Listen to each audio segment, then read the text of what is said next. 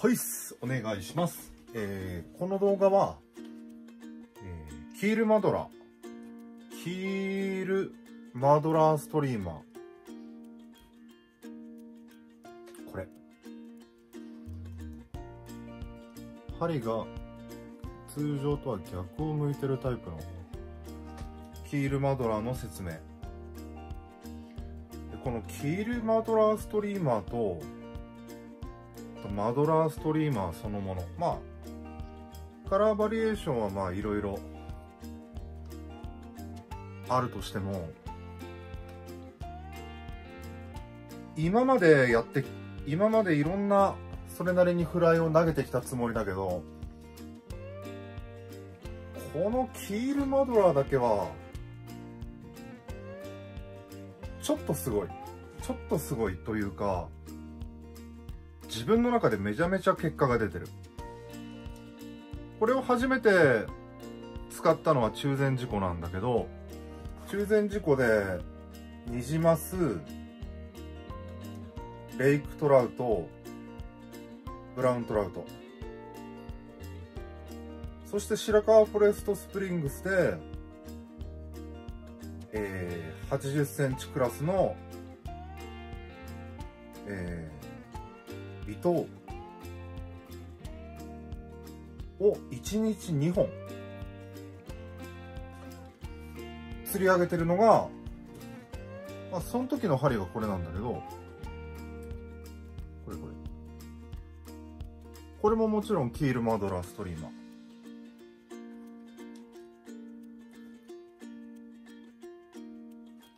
サイズ的には、だいたい8センチとか、7センチ、8センチ。だいたいそのぐらいの長さのキールマドラーストリーマー。これは釣れる。本当にすげえと思う。ストリーマーって言われるルアーの中でいろいろパターンとかデザインはあるけれども、キールにしたマドラーだけは、もう、ルアー。すげえルアーです。完全にルアーです。あのー、これはまあ少し極端な例だけど、ここまで、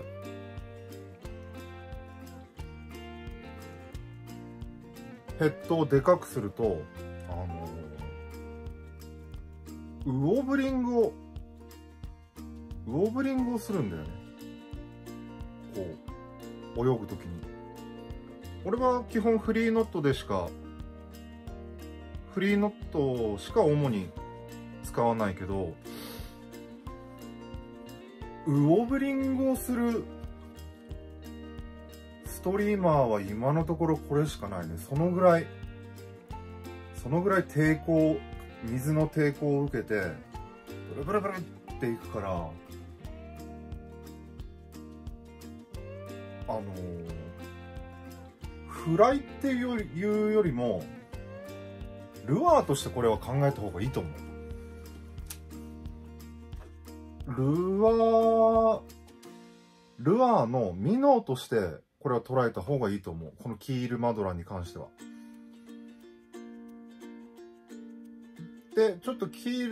ルマドラーに関してのまあ重要な点というか肝、肝の部分は、まあ、キール型っていうのは通常針が下向いてるところ反対側に針先が上を向いたフライのスタイルでで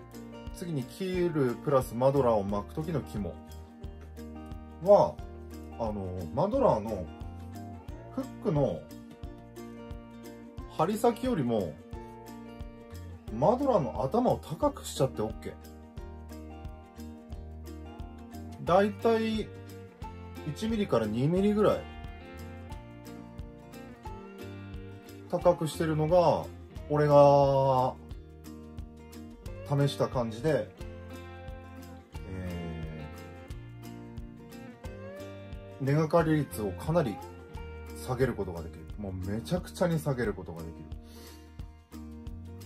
る。この針を正直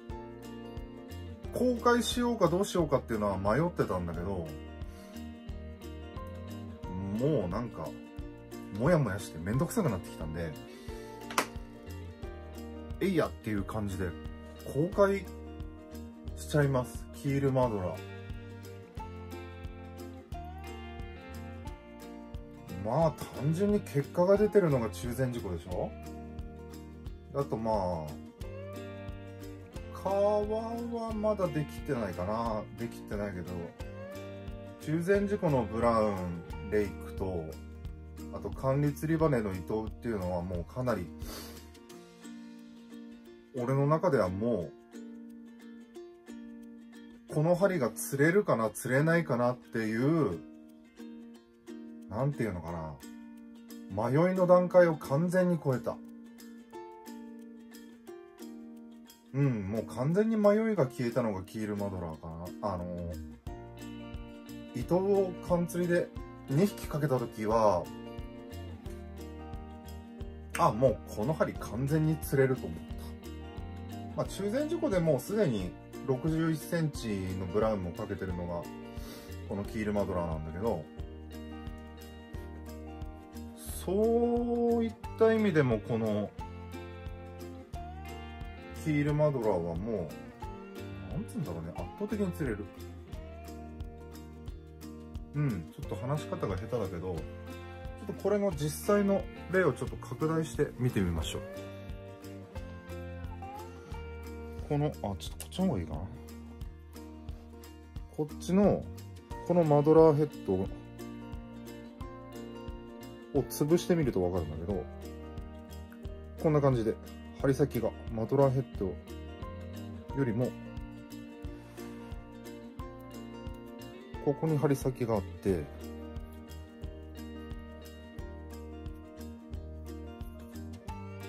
マドラーヘッドの方が針先より高くなってる。これがキールマドラーを巻く時の角だね。この針だけはもう本当に釣れます。っていうか本当すごい。超釣れる。っていうのはちょっと言い過ぎかな。ただまあ特に中禅寺湖みたいなすごい根がかりが多いところでは顕著なんだけどあの根がかりを本当に恐れずに弾ける。一般的によく言われるあの中禅寺湖の駆け上がり中禅寺湖の駆け上がりを舐めるように恐れずにリトリーブ N スペ N スペシャルでしてこいとかっていうふうに言われるのが基本みたいなことを中禅寺湖で言われるけどマドラーはねボトムずる引きで引っかかってこないです。具体的に例えば管理釣り場とかでもそうなんだけど葉っぱ拾ってこないですねリトリーブで。だからあのー、ちょっとこのキールキールマドラーだけはちょっと次元が次元が違うというかすごい。それでその根がかりを回避するっていう意味のもう一つの要因としてこのキールとマドラーヘッドのヘッド位置をフックの針先よりもね高くするっていうのも一つなんだけどあとこのマドラーヘッドそのものがあの浮力があるんですよ。浮力があるもんであの浮きます。水中で。だから、プルプルって動いて、ヒュイー、プルプルプル。もう一回、なんか面白い。プルプルプルって、ヒュイー、プルプルプル。マジでこのぐらい動きます。本当に。これはね、ちょっと後で動画にしようと思ってます、マジで。すげえです、ウォーブリングの具合が。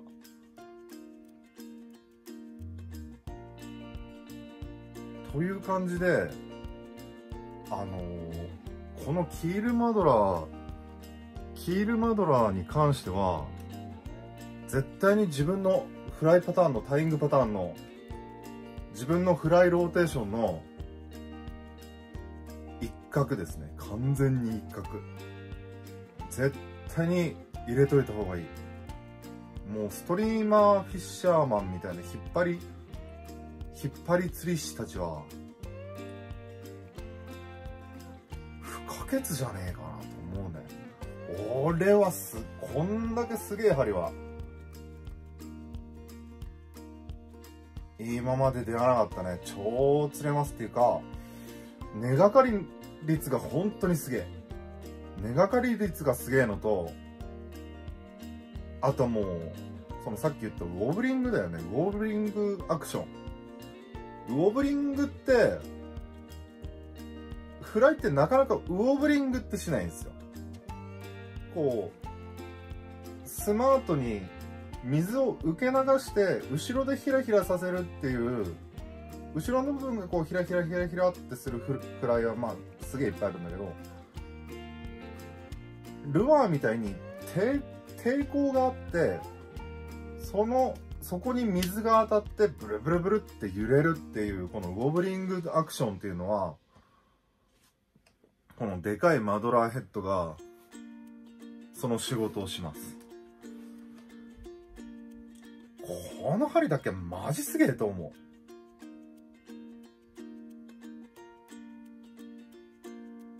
まず根がかりを恐れずに弾けるっていうだだけ、それだけでも、もう十分の、十分な性能だと思うんだけど、根がかりを回避するでしょ？ウォーブリングするでしょ？その2つだけを取っても、半端ねえんじゃない？でまああと実際このマドラーミノーっていうもの自体がまああのなんだ？カジカとかのイミテーションになるわけか。カジカイミテーション。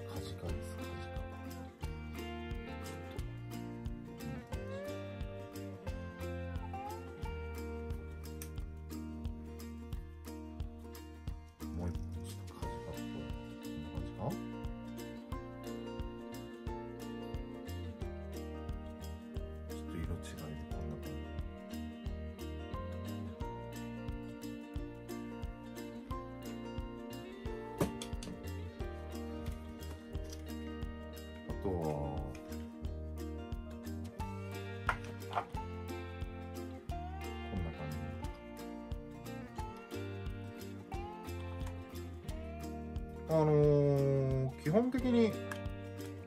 まあ無難な茶色系ナチュラル系。で結構ド派手系は今のところ釣ってない感じ。まあオレンジとかあとはなんだ？ピンクとか、そういうのはちょっと色合わせが上手にいってないっていうのもあるんだけど、やっぱり地味系、ナチュラル地味系は確実に結果が出てます。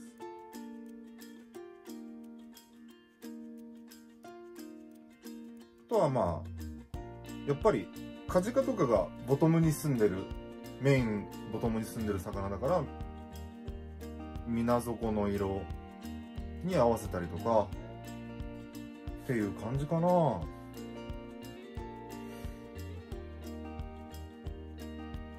とりあえずうんこの針だけはすげえんで。マジ巻いた方がいいと思います。この針だけはすげえ。中禅寺湖のボトムを1日さらって3本あれば針3本あればポイントを点々としてボトムをさらってきても針3本あれば1日持つんじゃないかな。よっぽどあのガンなんつうんだろうな。ガンダマさえ引っかかるようなところっていうのは確かに一部あるけどそういうところはもう何を引いても引っかかってるからね。そういうのは例外としてボトムを恐れずに舐めずに舐め舐めてこうぬるっとボトムを引いてこれるっていうのはこれ以上のスペックは俺はないと思うな、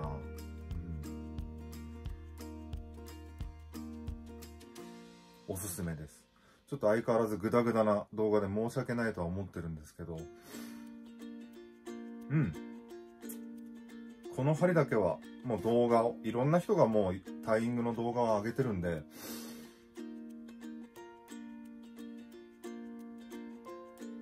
あのー、参考にしながら。うん。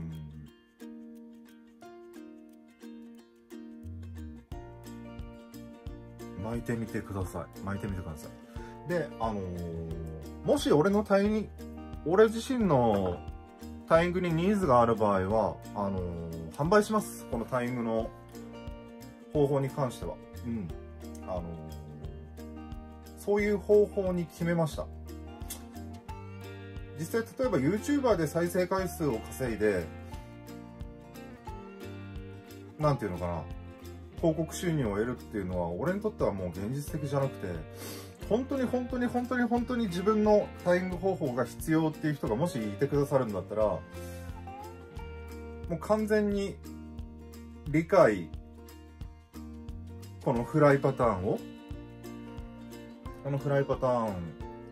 を自分のものにできるようにっていうところまでお付き合いお付き合いするっていう形でちょっと販売方法も検討してでその販売の仕方が完成し次第、えー、概要欄の方にリンクを貼ってえー、もう販売も始めます、えー、ボランティアでやる気はないんで僕も。その代わり責任を取ります。えー、なんまあその釣れるフライタイングの中でも、このキール、キールマドラーっていうのはもう間違いなくトップクラスなんで、絶対釣れるというか、うん、絶対釣れるって言い切るのはちょっと、語弊がありあるけど、中禅事故の根がかり率一つをとっても、この針はマジですげえです。根がかりが怖くてボトムを引けないっていう人は未だに絶対にたくさんいるはずで、そういう人たちも、まあ、自分の方から、まあ自分でいろいろフライ、YouTube とかとネットで探して、マドラーを巻くか、もしくはもし、時間が押してて、うん、今自分の巻いてるマドラーに価値があると思ってくださる方がいたら、そのタイミング方法をちゃんと販売して、しっかり、なんていうのかな、巻き切れるまで、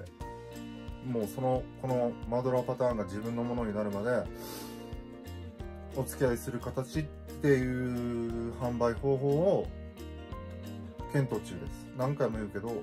準備ができ次第概要欄に載せます。タイミングもね、もちろん楽しみなんですけど、結構いろいろ課題がとても多いんで、そこら辺もしっかり、なんて言うんでしょうね。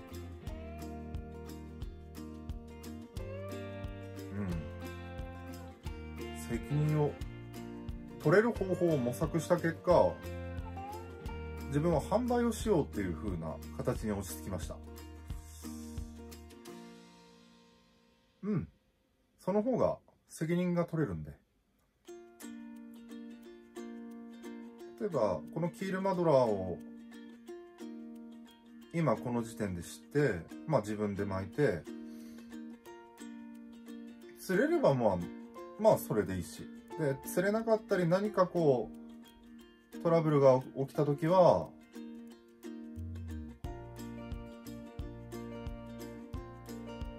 自分がどうやってるかっていうのをしっかり責任を取ってみせるっていうのが販売になりました。うん、販売になりました。ちょっと態度が悪いっすね。ただまあ、自分で巻いてもいいけど、肝はここだけなんで。針先よりもマドラーのヘッドを高く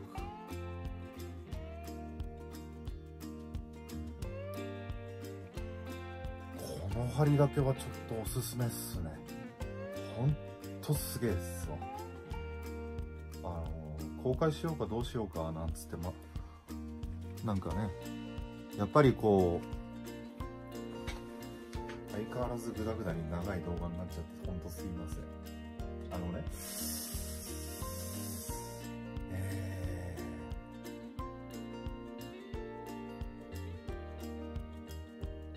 ーはっきり言うとも自分は師匠も誰もいない状態でフライフィッシングなり魚釣りをしてるんで釣れる針にたどり着くのまでってものすごい遠いんですよ。ものすごい遠い。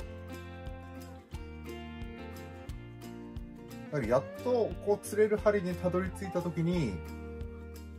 その針をインターネット上に公開するかしないかっていうのは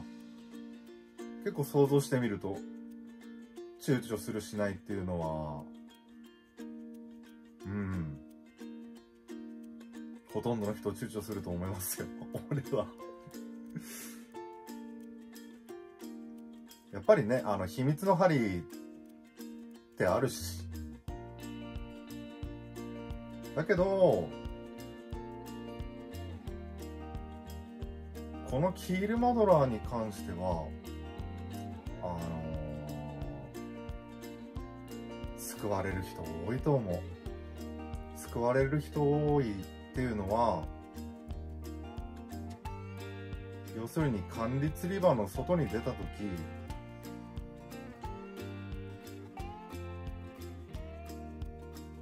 根がかりするポイントって本当多いんですよ。根がかりするポイントって本当多いんですよ。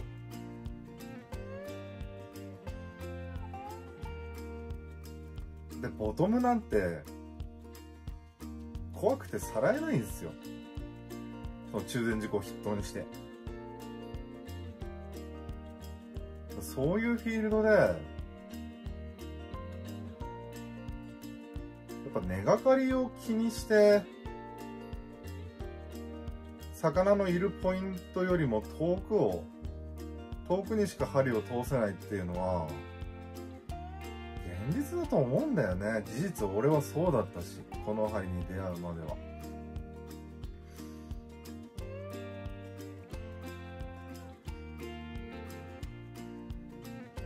まあちょっと今あまりにも長い動画になってるからほとんどの人がここまで見ないでしょうけど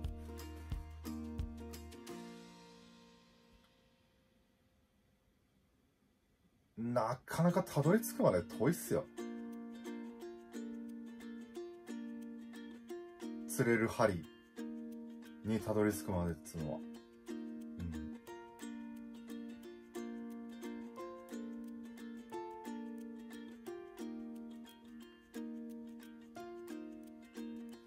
で今ここにこうやってキールマドラーゾンカーを公開して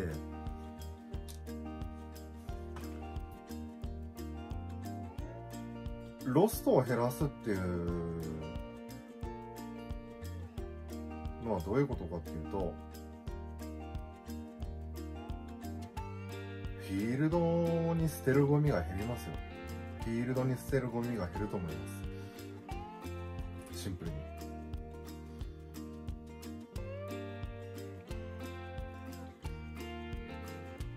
フィールドのゴミ減らしましょうよ。本当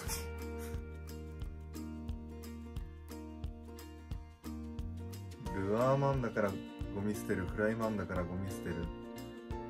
そんなことはもう全くなくて個人の問題ですけど。根がかりを回避してなおかつ釣れる針っていうのはそう多くないんでキールマドラー自分のものにしましょう。釣れるし根がかり回避しますから。本当に。よ